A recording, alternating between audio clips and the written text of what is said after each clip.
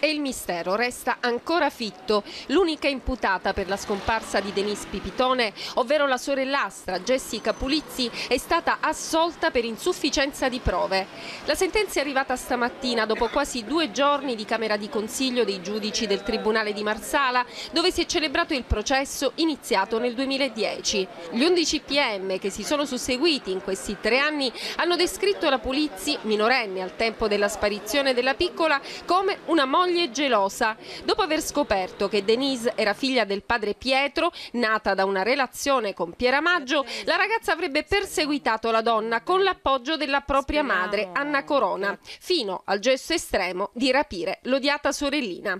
La tesi però in giudizio non ha retto. La procura aveva chiesto per lei, oggi 26enne e madre a sua volta di una bambina, il massimo della pena 15 anni per concorso in sequestro di minore.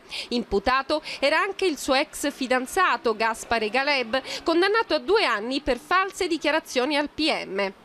Oggi Denise è stata nuovamente sequestrata, afferma a caldo Pieramaggio. Non smetterò mai di dire che Jessica è la colpevole e che qualcuno l'ha coperta, ma non posso dire chi. Non credo più nella giustizia, dice. E, come lei, anche Pietro Pulizzi ripete non c'è giustizia, non c'è giustizia, mentre per i legali dell'imputata la sentenza è giusta.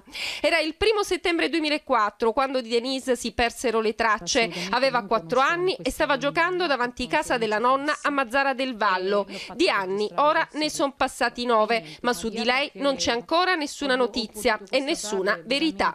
Manuela Ayati, Sky TG24.